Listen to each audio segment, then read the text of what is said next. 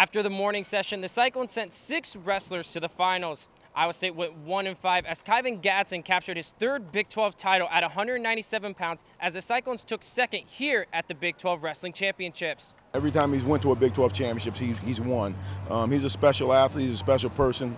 Um, he deserves everything he everything he gets, and um, and he goes out there and he earns it. And so uh, we're so proud of him capturing that third title, and uh, couldn't say enough good things about Kyven Gadson. It hurts from a team standpoint, from a leadership standpoint. I, I thought we could have not compete a little better, but we could have came away with a few more wins. So going going back into the wrestling room um, these next 12 days before the NCAA tournament starts, we got to lock into some stuff and, and refocus on the goal.